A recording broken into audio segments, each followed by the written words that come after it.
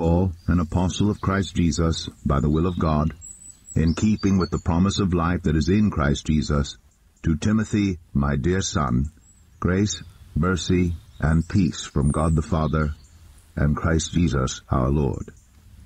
I thank God whom I serve, as my ancestors did with a clear conscience, as night and day I constantly remember you in my prayers. Recalling your tears, I long to see you so that I may be filled with joy.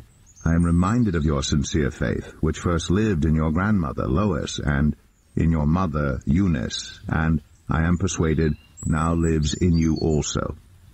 For this reason, I remind you to fan into flame the gift of God, which is in you through the laying on of my hands.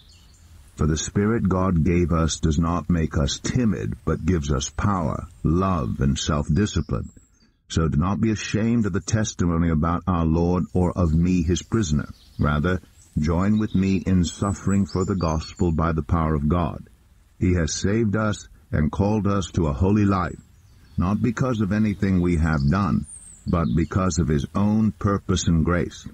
This grace was given us in Christ Jesus before the beginning of time, but it has now been revealed through the appearing of our Savior Christ Jesus, who has destroyed death and has brought life and immortality to light through the gospel. And of this gospel I was appointed a herald and an apostle and a teacher. That is why I am suffering as I am. Yet this is no cause for shame, because I know whom I have believed, and am convinced that he is able to guard what I have entrusted to him until that day. What you heard from me, keep as the pattern of sound teaching with faith and love in Christ Jesus. Guard the good deposit that was entrusted to you. Guard it with the help of the Holy Spirit who lives in us. You know that everyone in the province of Asia has deserted me, including Phygelus and Hermogenes. May the Lord show mercy to the household of Onesiphorus, because he often refreshed me and was not ashamed of my chains. On the contrary, when he was in Rome, he searched hard for me until he found me. May the Lord grant that he will find mercy from the Lord on that day. You know very well in how many ways he helped me in Ephesus. You then, my son, be strong in the grace that is in Christ Jesus, and the things you have heard me say in the presence of many witnesses, entrust to reliable people who will also be qualified to teach others. Join with me in suffering like a good soldier of Christ Jesus. No one serving as a soldier gets entangled in civilian affairs, but rather tries to please his commanding officer. Similarly, anyone who competes as an athlete does not receive the victor's crown except by competing according to the rules. The hard-working farmer should be the first to receive a share of the crops. Reflect on what I'm saying, for the Lord will give you insight into all this. Remember Jesus Christ, raised from the dead, descended from David. This is my gospel, for which I am suffering even to the point of being chained like a criminal. But God's word is not chained. Therefore I endure everything for the sake of the elect, that they too may obtain the salvation that is in Christ Jesus with eternal glory. Here is a trustworthy saying.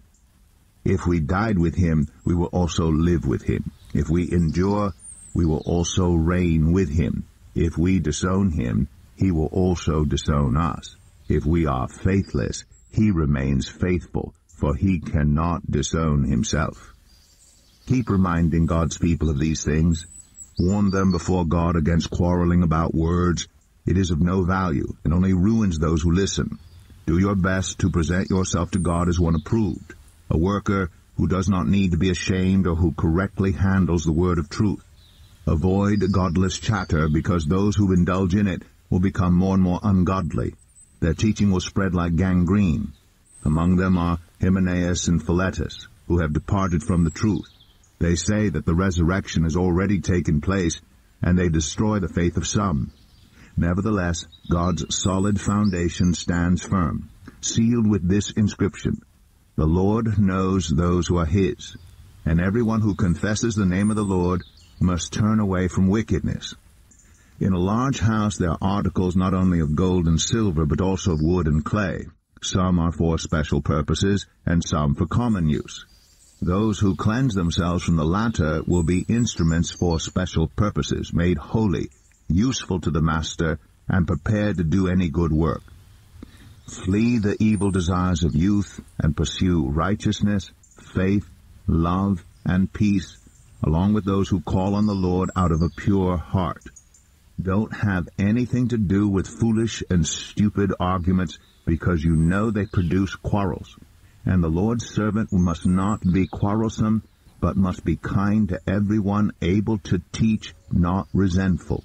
Opponents must be gently instructed, in the hope that God will grant them repentance, leading them to a knowledge of the truth, and that they will come to their senses and escape from the trap of the devil, who has taken them captive to do his will. But mark this, there will be terrible times in the last days. People will be lovers of themselves, lovers of money, boastful, proud, abusive, disobedient to their parents, ungrateful, unholy, without love, unforgiving, slanderous, without self-control, brutal, not lovers of the good, treacherous, rash, conceited, lovers of pleasure rather than lovers of God, having a form of godliness but denying its power. Have nothing to do with such people. They are the kind who worm their way into homes and gain control over gullible women, who are loaded down with sins, and are swayed by all kinds of evil desires, always learning but never able to come to a knowledge of the truth. Just as Jannes and Jambres opposed Moses, so also these teachers oppose the truth. They are men of depraved minds, who, as far as the faith is concerned, are rejected. But they will not get very far because, as in the case of those men, their folly will be clear to everyone. You, however, know all about my teaching, my way of life, my purpose, faith, patience, love, endurance, persecutions, sufferings, what kinds of things happened to me in Antioch, Iconium, and Lystra, the persecutions I endured, yet the Lord rescued me from all of them. In fact, everyone who wants to live a godly life in Christ Jesus will be persecuted, while evildoers and impostors will go from bad to worse, deceiving and being deceived. But as for you, continue on what you have learned and have become convinced of, because you know those from whom you have learned it, and how from infancy you have known the Holy Scriptures, which are able to make you wise for salvation through faith in Christ Jesus. All Scripture is God-breathed, and is useful for teaching, rebuking, correcting, and training in righteousness, so that the servant of God may be thoroughly equipped for every good work. In the presence of God and of Christ Jesus, who will judge the living and the dead, and in view of his appearing and his kingdom, I give you this charge. Preach the word. Be prepared in season and out of season. Correct, rebuke, and encourage with great patience and careful instruction. For the time will come when people will not put up with sound doctrine. Instead, to suit their own desires, they will gather around them a great number of teachers to say what their itching ears want to hear. They will turn their ears away from the truth and turn aside to myths. But you, keep your head in all situations, endure hardship, do the work of an evangelist, discharge all the duties of your ministry. For I am already being poured out like a drink offering, and the time for my departure is near. I have fought the good fight. I have finished the race. I have kept the faith.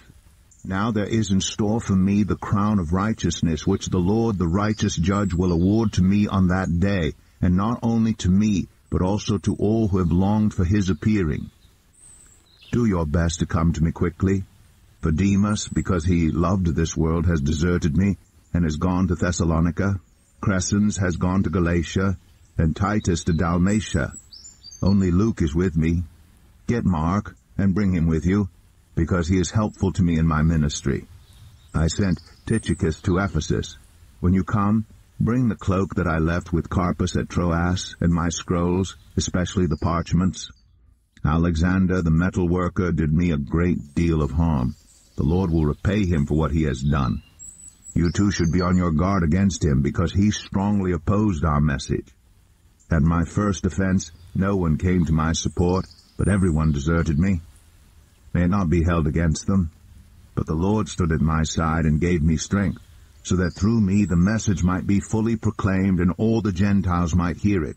And I was delivered from the lion's mouth. The Lord will rescue me from every evil attack, and will bring me safely to his heavenly kingdom. To him be glory forever and ever. Amen.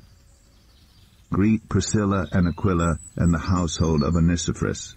Erastus stayed in Corinth, and I left Trophimus sick in Miletus. Do your best to get here before winter. Eubulus greets you, and so do Pudens, Linus, Claudia, and all the brothers and sisters. The Lord be with your spirit. Grace be with you all.